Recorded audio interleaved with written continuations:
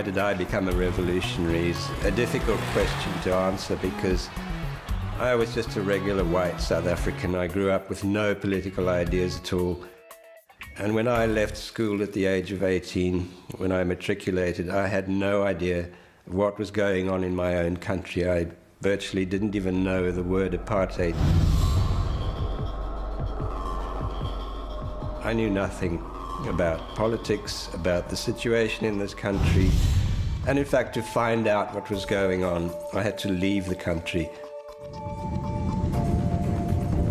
Ladies the captain has now turned on the fasten seatbelt sign. and will soon landing at London.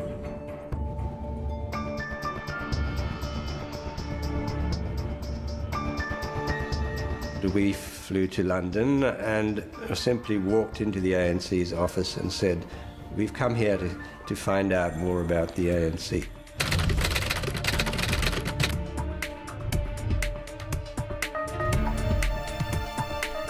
The ANC sought to liberate the people of South Africa, uh, but of course, at that time, uh, people were terrified of even mentioning the African National Congress.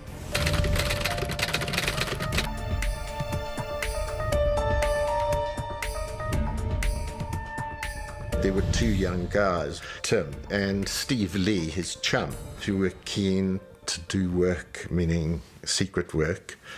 And he had immediately sent them to some cafe around the corner.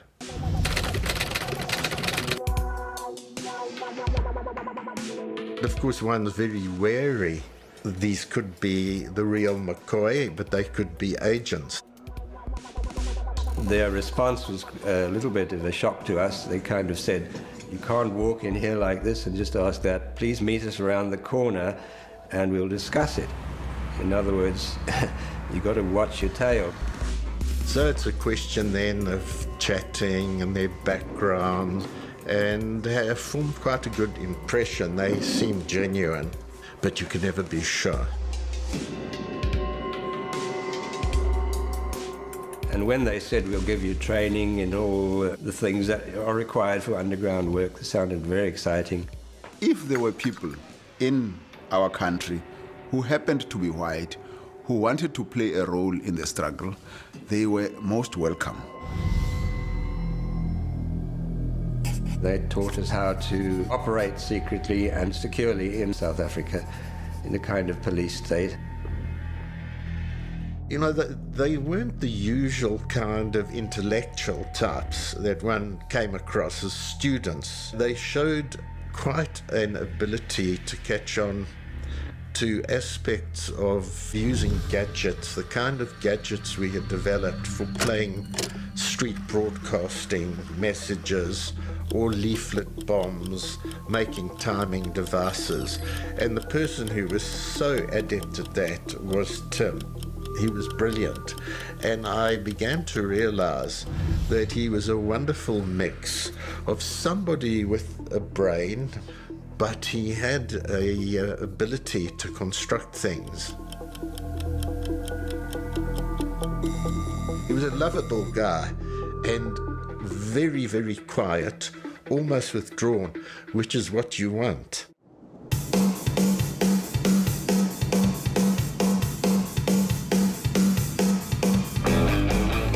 Sent back into South Africa with quite a lot of money, and the instruction was to rent a premises, to set up a propaganda shop.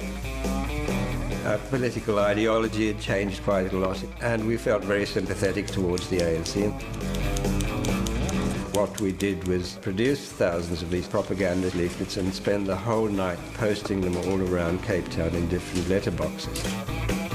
Very often, with people we trained, it would take a year or more before they really became active. With these two guys, it happened very quickly and very successfully.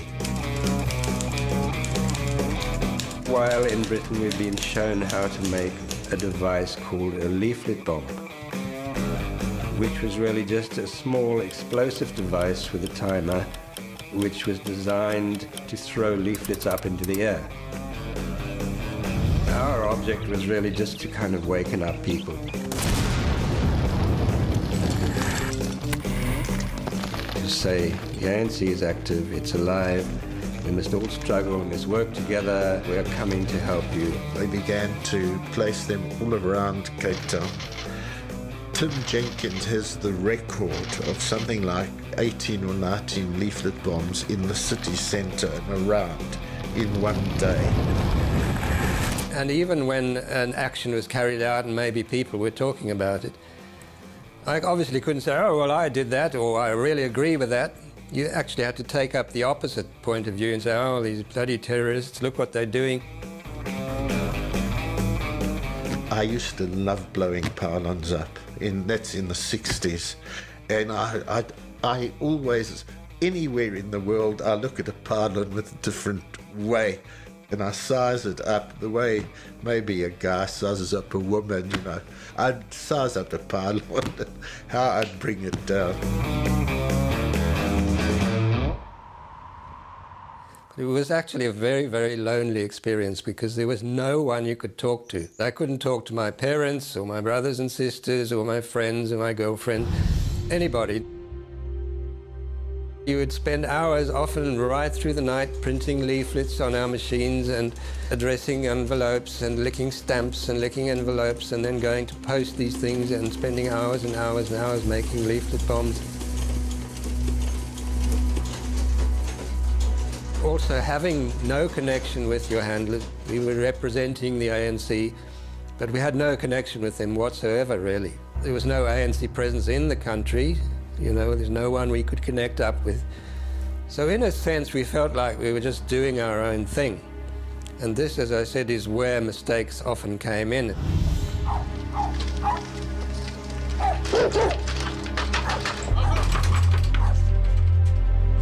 It was a big shock. They lasted two years. They were arrested. They moved in at the absolute worst moment for us we were busy moving from one premises to another. So they found everything, got everything. They had all the remnants of all the leaflet bombs, which they were able to pin on us because they found a whole lot of unmade leaflet bombs that looked exactly the same. Basically, they had everything, and there it was in the front of the court.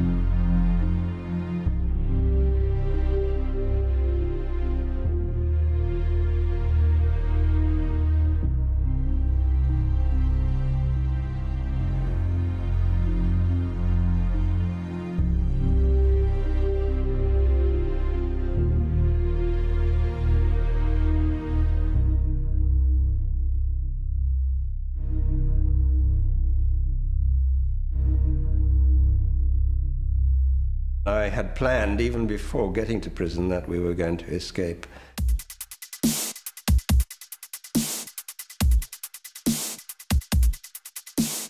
During the day, uh, we worked in a, in a carpentry workshop. So I had this idea that maybe we could make a key out of uh, wood. The lateral thinking of this guy was such that he moved from trying to make metal keys into realizing that with wooden doweling, you make wooden keys so much more easy. So at night, I studied this lock. Just by looking at it, you can actually pick up most of the dimensions of the key. These three bits were cut in the workshop quite openly because they looked like nothing. And of course, they would never all three be kept together. So that part might be over there, and that one over there, and that one over there. So if the warden came along, it would look like nothing. And within a week, I had a working key, and I managed to get my inner door open. It took us a long time to actually figure out how to open the outer door because the keyhole was only on the outside. So you would thrust this through the window, and then in order to see what you're doing, you'd hold this mirror outside the window, then you insert it in the keyhole, and once it's in, simply crank. It didn't work the first time. It took almost a month before in fact, two months before we got this to work properly, so it was quite a mission.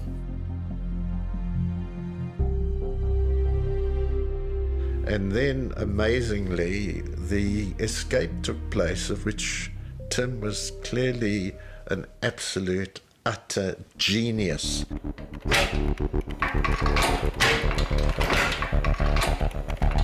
We decided that the best thing would be to uh, just make keys for everything. It was not only doors that we opened, every single cupboard and every single locker and every tool chest that we were faced with, we made keys for. In fact, we had more keys than they did in the end. We'd left virtually no trace of how we'd got out. To get from our cells to the front door required 10 separate keys.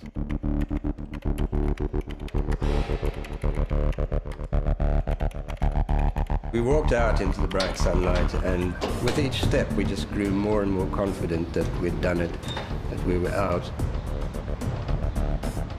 For me, it was really just a release from the, the year and a half of extreme tension. You cannot believe the kind of tension that we were living under the fear of being found with all these keys, with all this equipment, the fear of being caught. I even said to the others, I think we're invisible, I think we're invisible.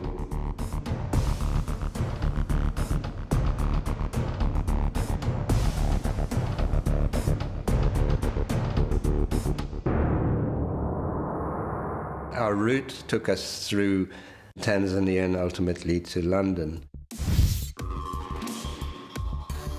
Once we were in the hands of the ANC, we felt safe.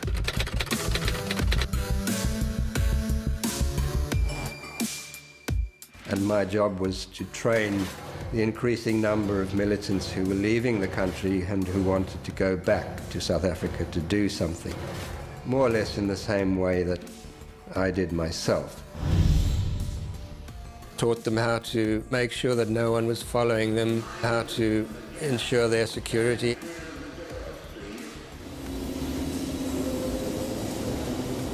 How to conduct secret communications and how to conduct themselves in the underground.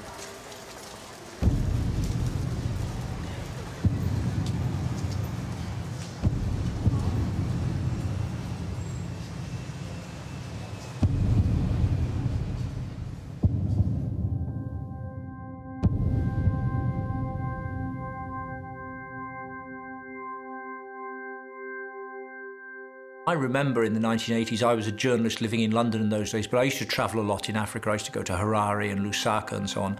And I would meet ANC people there, and they were a pretty unhappy lot, I would say, because, you know, they, they were in exile. Um, some of them were really homesick. Um, they didn't have much money for the most part. Um, they were, of course, constantly under threat. Uh, people were under threat of murder by government get death squads or whatever. It did happen to a number of people, parcel bombs, that kind of stuff. I'd been in the struggle uh, in its illegal phase from the 60s, had been detained, had been uh, tortured, had been sent to prison, uh, and had come out of prison. Quite frankly, as far as I'm concerned, being in the liberation struggle in the mid, mid 80s left you with a view, a world view that said you would not live to see freedom. But it was necessary that you did what you had to do.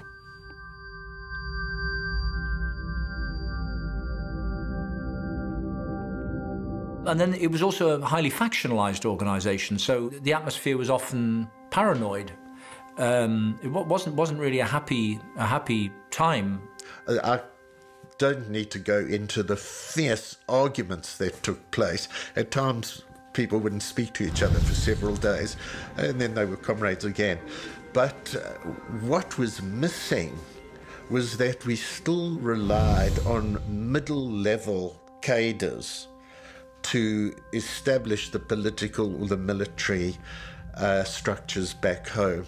They didn't have the stature of a leader that people would really listen to um, and, and carry out the instructions. They would need people on the ground in South Africa, in touch with the leadership in Lusaka and London and various other places abroad, um, in order to start an insurrection which would eventually turn into a people's war. It became people's war in that sense because in the ANC, we did not conceive of liberation as coming out of the barrel of the gun of the people who were trained abroad, who were going to shoot their way through to the union buildings. We wanted the people themselves to be able to respond to the violence that the enemy unleashed against them. And we wanted to train as many people as we could because it is in that way multiplying the forces of the, of the revolution. The security police and the apartheid intelligence services knew that this was the strategy. They were well informed. And obviously, it was absolutely crucial to prevent the ANC from bringing in weapons and from bringing in the type of trained people who would be able to organize local resistance to the apartheid state. By 1986, 87, when we're talking about coming in, more than 40 people had been killed in detention, reported to be suicides, but we know killed under torture. And that's besides the thousands of others who were being detained in the country. So you were carrying out activity in the conditions of illegality, in the face of a brutal state, and in the face of that state out to smash and destroy the ANC.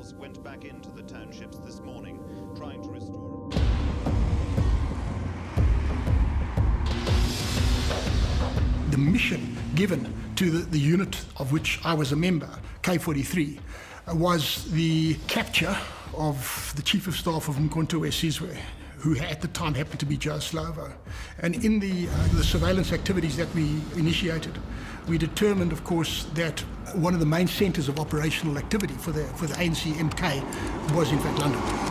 So a lot of our surveillance activities took place in London. We created a very sophisticated close-in surveillance capability. We knew that the, the postal system was inherently insecure. Practically every letter sent abroad or even internally was monitored in some way by the police. Picking up a phone is dangerous. I mean, what are you going to say? The code system to be of any sense has to be utterly simplistic.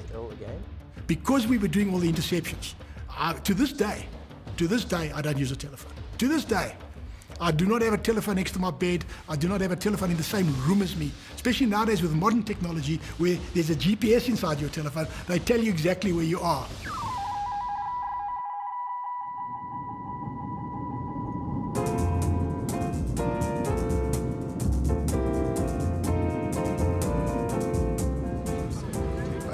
Called down to Lusaka uh, sometime in the mid 80s. I was sent down to train people in the use of some radio equipment. And I met up with Mac Maharaj, and he said to me, I've heard that you guys have been experimenting with um, computer communication. Uh, we're very interested. When I met Tim, I found here was a chap who was approaching problems basically from the needs of the cadre inside the country, in the danger zone. And that is what made us work together. He was the first ANC leadership figure who considered the importance of communication. To run a struggle by remote control, you need to be fully in communication with the operatives, wherever they are. Operatives had exactly the same problems that we all had in covert operations that is, communication with people in the field. That's, that's the, the technical problem to crack. And uh, with the technical problem comes the morale and management problem. How do you keep your people motivated when they're living at the sharp edge under very dangerous conditions? And you know, your, your leaders are swanning it around you know, another part of the world, you know, living a, a kind of champagne lifestyle. Okay, so so morale is always a very very important issue under these circumstances. But but the bottom line is you have to communicate, and you have to communicate not just oh hello I'm okay. You have to communicate operational information that is significant. You could not use the hand enciphering and deciphering methods if a one paragraph communication was going to take you 24 hours. And if you were deciphering, you would be sitting in a hideout taking 48 hours to decipher it. It was just impractical. By the mid 1980s, personal computers were becoming available. You could simply go to the high street and buy something that was quite respectable. By today's standards, they are absolutely nothing. We cannot believe how weak these computers were. They had a memory of 32 to 64 kilobytes, which is just absolutely laughable these days. But nonetheless, they were programmable, so we could learn how to simulate the basic encryption process. And Up until then, I'd been doing encryption in a manual way.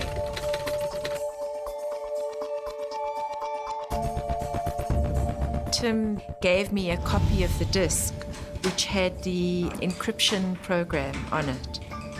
So, encrypting using a computer program is a serious joy, not having to do this painstaking process of encrypting manually. Now, the next stage was to get computers to communicate with each other, and we started to investigate other uh, methods using telephone touch tone tones. Then you could simply put those tones onto a tape or even play them down a telephone to someone at the far end who could be recording them onto a tape recorder. And then takes that tape recorder home, plays those tones back into this little device that then shows you the numbers.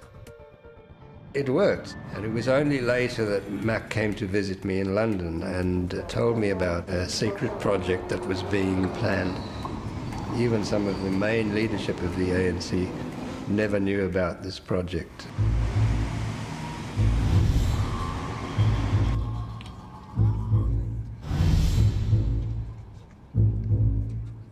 I'd been called to Lusaka uh, to, to be briefed by the president of the ANC that there is this mission that they wanted me to be part of, of a leadership corps uh, inside South Africa.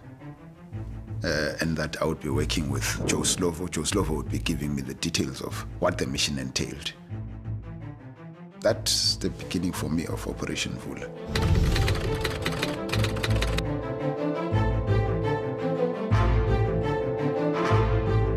This is not your run of the mill operation. This is going to be the installation of a senior leadership in the country that would then take over the, the command of underground work and link with the above ground and give leadership all round. So it's really at the level of Tambo and Slovo outside and a need to know with others. So Tim Jenkin from London comes to know, or Conny Braam, who did very good support work, is linked in that way.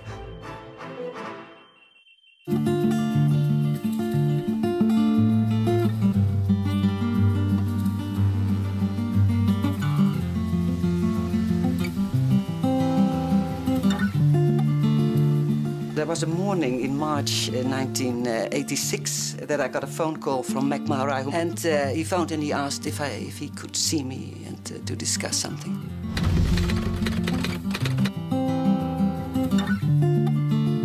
She was the president of the Dutch anti-apartheid movement, and she had been asked by those people who were involved in Operation Vula uh, because she had a network of people who could assist. I had to set out to find people who, you know, possibly could immigrate to South Africa, who were willing, I mean, think of it, willing to give up everything, their job, lie to their friends, to their families. It was very, very clear that it, it was not without danger. The evening Conny asked me, I was very excited. For me, it was like, this is the thing, this is doing more the thing I wanted to. I had a cover story for people in Holland. Uh, I was teaching at a school in Lusaka. So all the letters I wrote, I mean, they, they, they were made up.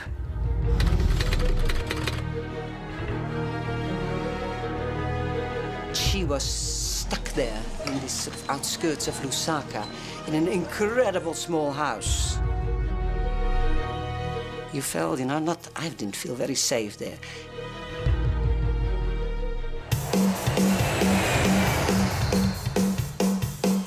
I was asked to come to London, and there was Tim, whom I thought, oh my God, Woody Allen. This was the first thing I thought. And, and, it, um, and he was very sort of polite, took me to a room where I was sort of, enormous, what I remember, more than one computer. Doubt if I've ever seen a computer. I mean, it's and you can't imagine it now, but in 86, I mean, people didn't have computers.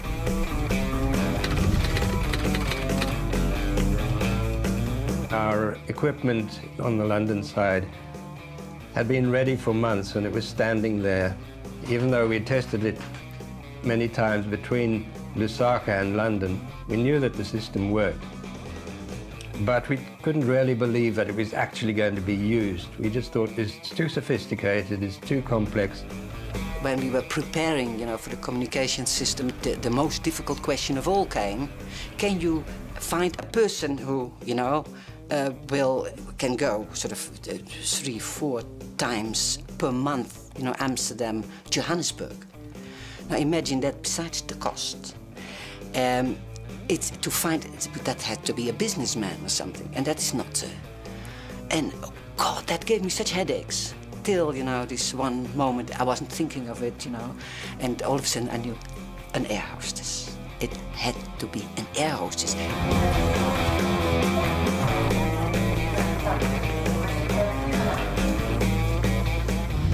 I was quite excited. It was a kind of an adventure, and. Um, well, I didn't see the dangers that, that at that time. So I felt honored that, you know, people whom I, I like very much and that they trust me. I immediately her. I mean, she's the most wonderful uh, person and a very, very uh, experienced air hostess. And I remember, God, I drank a whole bottle of wine with her, but I was not used to it. And, uh, but it was great, and then she started.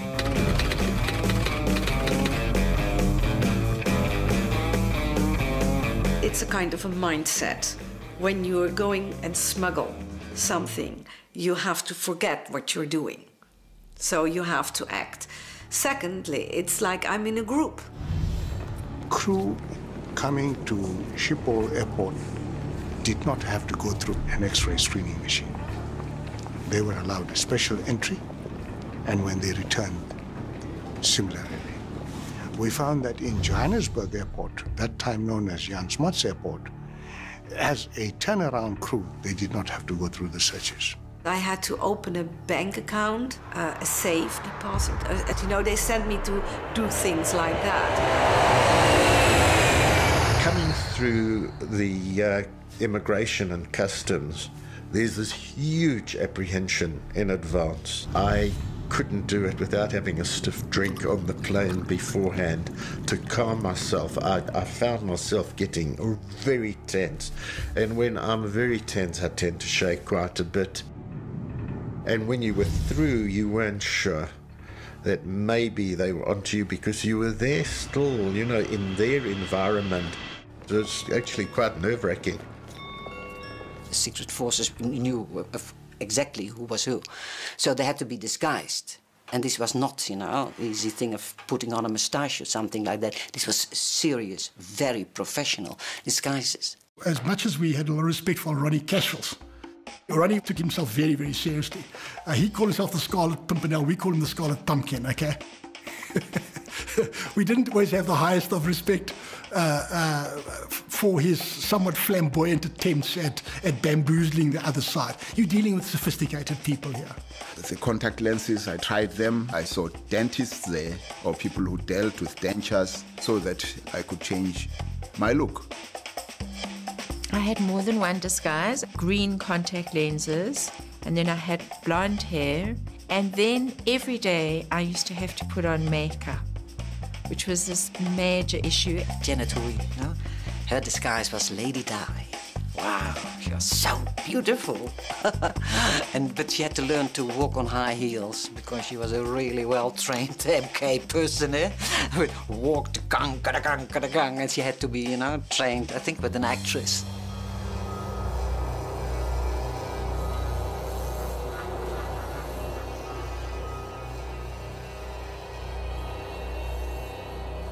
Mac and I were so high profile uh, that we could not take the chance of using the South African border posts.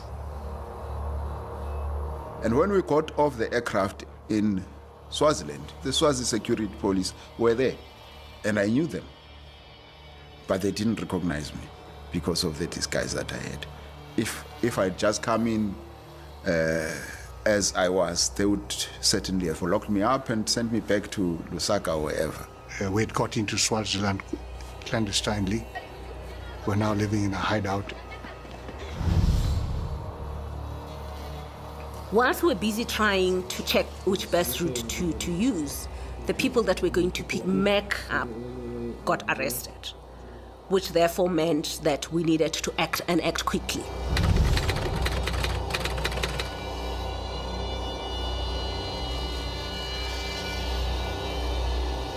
My quick reaction was it means we need to abort the, the infiltration. And Mac, being Mac, said it means we do it now. So we crossed in broad daylight, and we crossed with concealed arms. We needed to make sure that as they walk through the rural area, they should look like farm workers. So we got overalls for them. Then she took us to a homestead where we stayed. She went to check out the, the crossing point, came back when all was clear, and she just took us to the crossing point.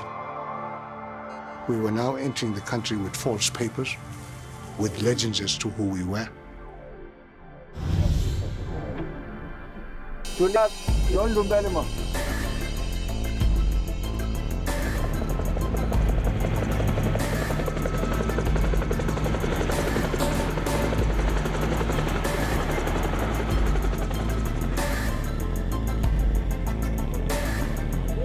Until such time that you know that people are safely at home, the job has not ended. So it was a huge tension because up to going to bed that night, we didn't know if they had arrived safely. So the relief for me was the next day when Ivan came to tell me that the trip was actually a safe trip. Of course, when we crossed, I kneeled and kissed the soil.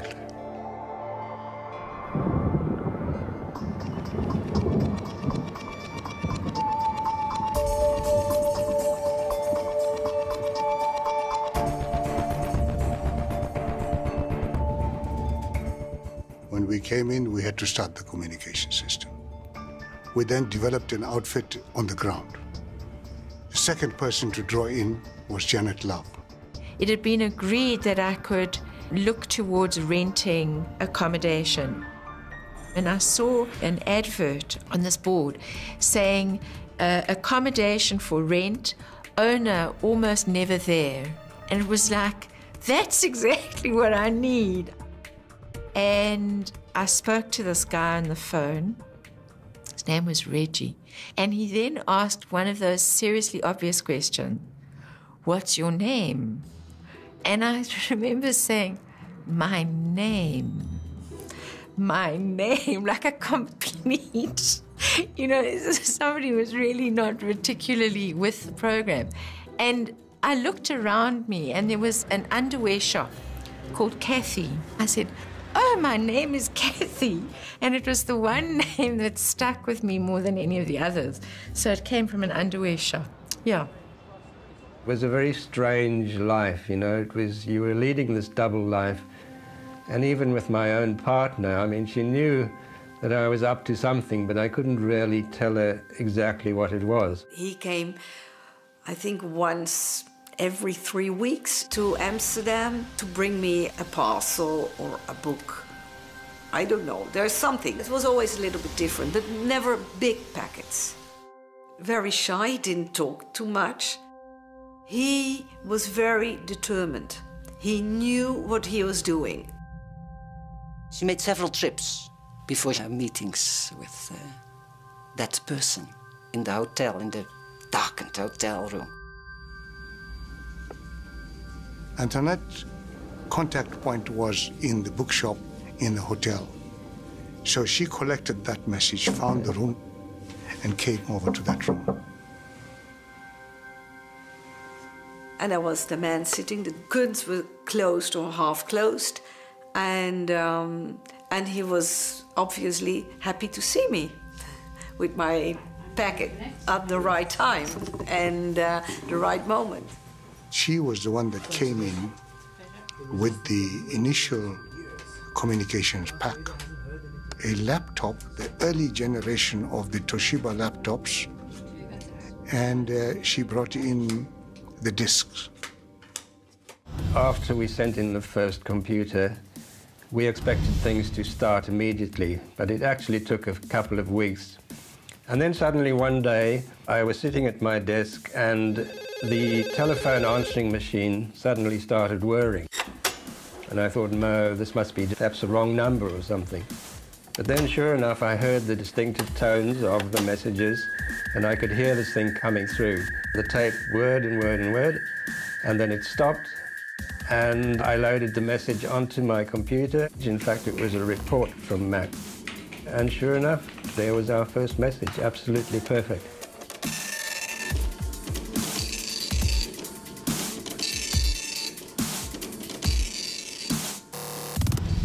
Mean, because of the advanced nature of the equipment and the methods we were using, only few people had access to the communication system. And I think that was infiltration proof. It was absolutely safe.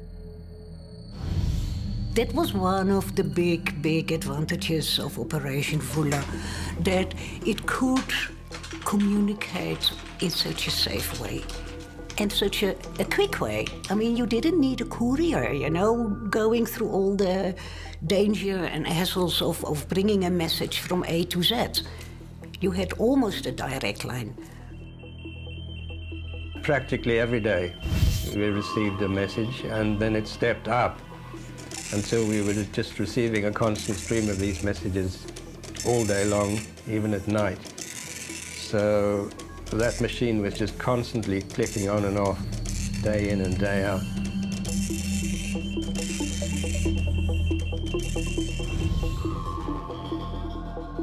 For me, it was a revelation.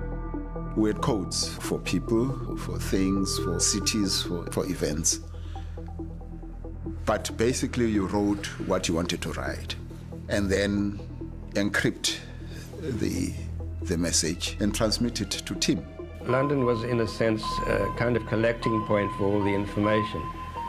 And we didn't want people communicating randomly with each other. So everything had to be filtered through London. Sometimes we would dial up and, you know, it would fall and we'd dial up again and it would fall. And then eventually you'd hear this, it's a special noise that you hear. It's a kind of um, a, a, a ringing hum that you can you know that the data is being transmitted. And then you'd still have to wait to be sure that you received your your message on your pager that it had all gone through. Otherwise you'd have to do it all over again. So you know transmitting a message could take anything from three quarters of an hour to two and a half hours We would communicate inside the country with Mac, with Janet Love, with Ronnie Kasrils, with all the people who were participating in the in the mission. And Tim would write back to me, and I would receive this gibberish on the phone. Just sounds, and I would record uh, the gibberish. I'd go to my computer, just decipher. We proposed that we would transmit from public phones, and that had a great advantage because you could go to different phones. You never created a, a pattern to your work. The Problem that arose was that when we put the money in to transmit to London, you had to put coins all the time, and each time you put the coin in, and when it dropped, it interrupted and corrupted that portion of the message. By sheer accident, we discovered that Telkom had introduced phone cards. And so we got hold of phone cards, and that solved the problem. That is when the system began to sing. In a sense, I had a grandstand view in uh, London because I was seeing everything. The comrades in South Africa would be writing reports about the situation the, uh, on the ground in the country. So there was almost a real-time connection between London and Lusaka. So I knew about all these diverse operations. I knew the requirements, the dangers, the plans that people made for smuggling weapons and people into the country, essentially even the passwords and the keywords and everything that people were using. This was quite simply the worst. You have a situation at home, if we now talk about the mid 80s towards 1988, 9, and 90. Uh, galvanized masses at home, the UDF particularly, and the trade union movement, and, and all the structures. Um, it's a tremendous move towards revolutionary conditions. Our mandate had not been to make contact with Mandela. But reading the situation in the country, sent a report to, to Tambo and Slovo to say, look, chaps, uh, this phase is a very tough one, uh, and there's too much room for damage. Uh, in my assessment, it is imperative we open communications with Mandela. We'd already looked into the problem of Mandela's circumstances at Victor Verster. He was at that time receiving visitors from his lawyers, from Winnie and family. Mac Maharaj is linking with that very lawyer, and he sees the possibilities, a, a fantastic insight and uh, understanding. Tambo's reaction was extremely cautious. Uh, and he actually said, no, no, no. Explain to me exactly how you're going to do it because I think this is high risk you're going to jeopardize your long-term mission, and uh, whatever other problems may have, we'll have to find a way to manage. And uh, I ignored that message. What I did is to write a, message, made it into a little tiny roll, gave it to his lawyers, and said, look, guys, you're going to be extremely nervous with this thing.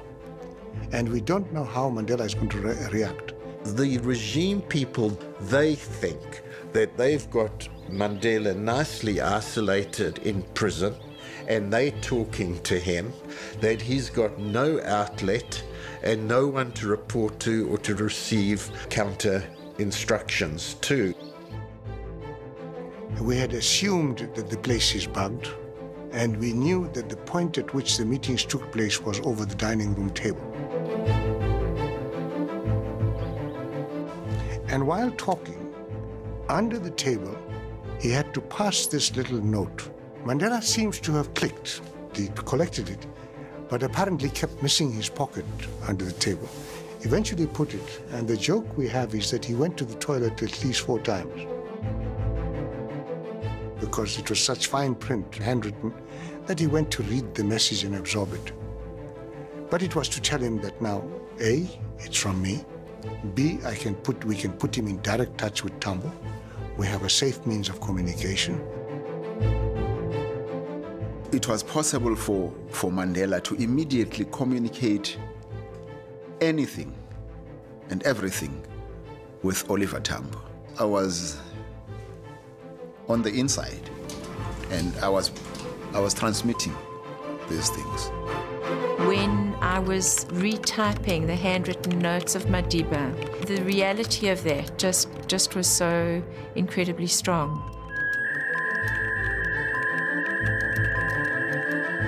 There was no warning that th this kind of a message was about to come. I couldn't believe my eyes. They stood out in stalks when I saw that this was actually a report from Nelson Mandela here on my computer for the first time on any computer in the entire world I've got a report from Nelson Mandela.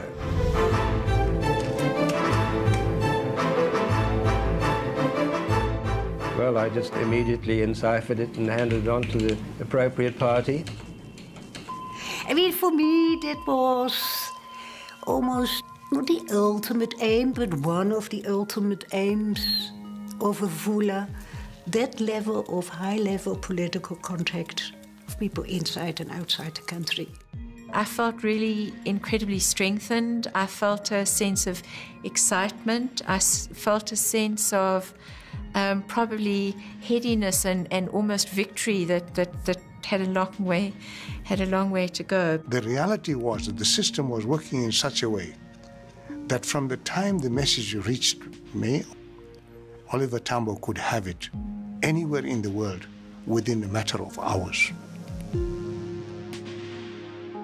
This was a time when um, the regime was speaking to Mandela and they thought that they were talking just to an individual, whereas in fact Nelson Mandela was really talking on behalf of the ANC. So it wasn't his private personal point of view that he was telling them, he was expressing the party line, so to speak. You can imagine that without this communication system, the apartheid regime was sitting on an issue where it could have divided the movement into fragments and set us at war with each other. Mandela would have been seen as a sellout, and we would have had bedlam in the, in the struggle ranks. Mandela is out. Read all about it. Mandela is out.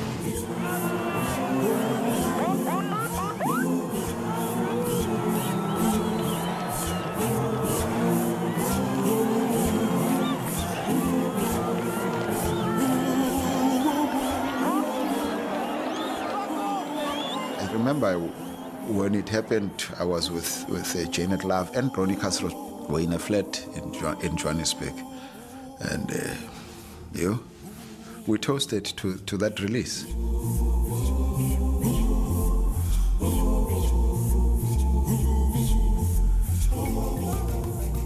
Most of us didn't really trust what was happening. We just thought this was a ruse to kind of get us all back into South Africa, and then they would just all arrest us.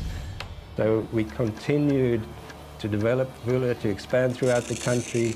The movement of arms continued because we needed to be prepared in case this whole thing turned sour.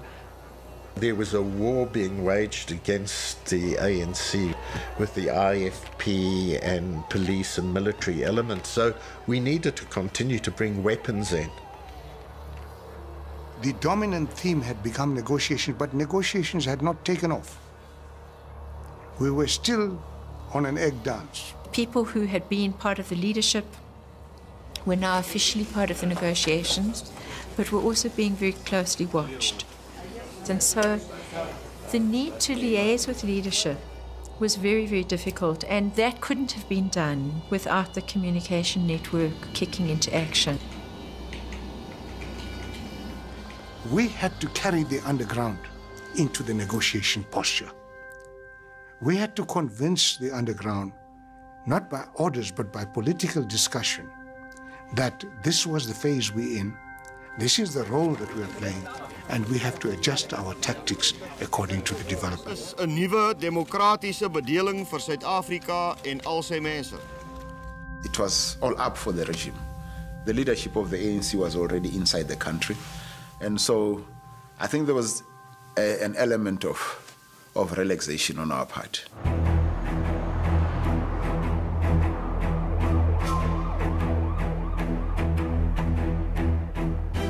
The police decided that they were going to follow me. I had a tail and I had a, a, a car that would not outrace them.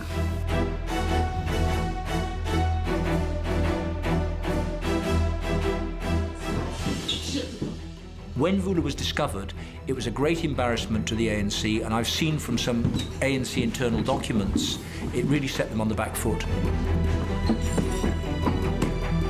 I remember the absolute feeling of shock. Panicky as well. Panicky for the comrades out in the fields. I was sitting with Tsotsi in this house, a, a Vula underground house in Harare, and Ivan came in and he said, Mac has been arrested. Mac has been arrested. And then we thought, well, now a raid is coming. And then you start to listen. If, are they coming? This situation that you've heard about, that you've helped people to prepare for, that, you know, this is now a death squad coming, you know, these guys with guns and who will kill you. I have to say that my reaction was you know, probably a little, um, well, was described to me as being a little callous because I was really very concerned about where the discs were. They found at one of the hideouts a set of discs where the previous transactions and communications had been deciphered but not re enciphered. And so the raw information was sitting there. They found the encryption disks, they found the code books, they found a lot of the plain messages, and with what they found, they were able to unravel the entire thing. So suddenly, out of the blue, you now get a blip on a radar screen that is a lot more sophisticated, makes use of encrypted communications, computer communications, etc. Then you start looking at the people involved. Well, these are you know these are high caliber people as well. So this is something out of the ordinary. It's not just the the average run of the mill stuff.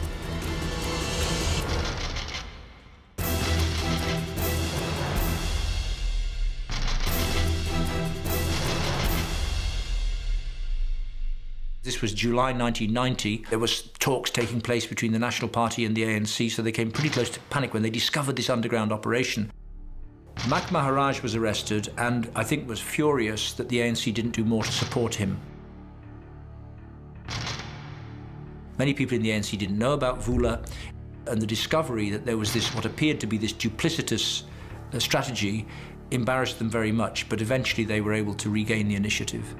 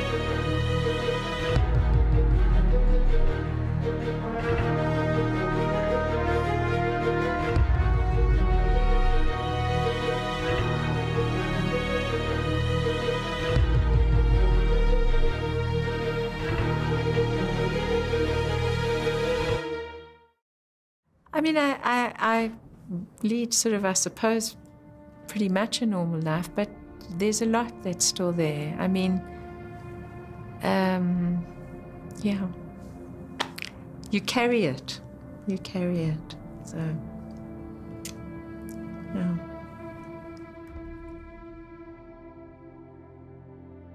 So, where do I fit into this thing? I don't know.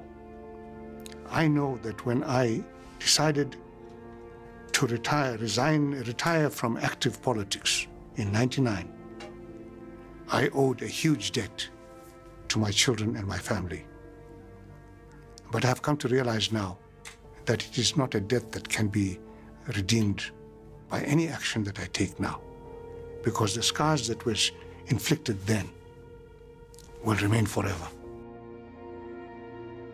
Sometimes we forget the millions that we said we were fighting for because that was the drive. We, we were never doing the things that we were doing for us as individuals. We were doing them because we wanted to make a difference to broader South Africa. And it becomes sad when you see that we're just not quite getting there. I've seen from the inside how information can be controlled. And I'm talking here from the inside being Minister in charge of intelligence. No secrets! No lies! No more power! It's an unusual country. I- I've had a very tough time when it was all over. I closed myself off. Every time when there was something on the news about South Africa, I would just not listen. I think it is a, a few months ago. All of a sudden, I don't know, there must have, be, must have been a reason that I thought, okay, now it's enough, Conny, you know? It's like a sort of a divorce, and, uh, and now, you know, you, you, you're capable of, you know, seeing your ex-lover again. Without that experience, I wouldn't be here. I would. I might have been a, a mother in Holland or what, I don't know. My life probably would have looked completely different. Uh, I, I survived to see the democracy. I, I, I try to integrate that past. I try to link my present with, with, with that past. I've told my children about what I did, but I don't think they really understand. They've grown up with modern computers, so they, they can't really contemplate a world without the internet. But they know that their father was slightly different, to your average father.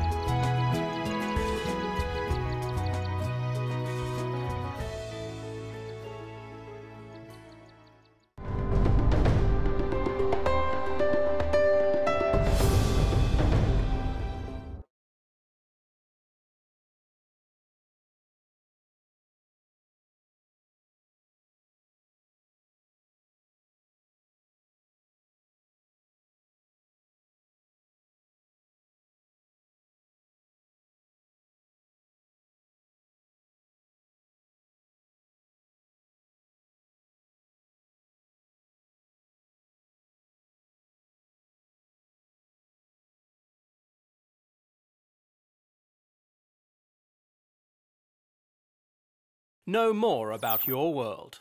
ENCA.com.